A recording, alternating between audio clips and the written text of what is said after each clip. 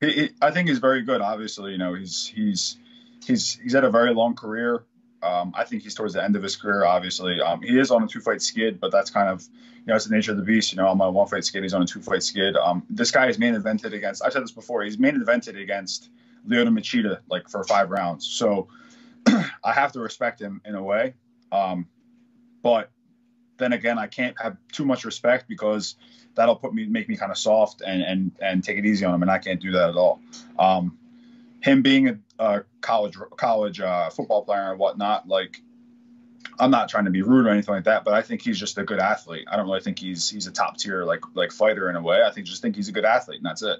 Um, he he's had a long career. He's had a good uh, good ups and downs. Um, his ups are his, his, obviously his ups are very good, and his downs are kind of kind of all the same thing. Like their submissions and, and decisions and whatnot.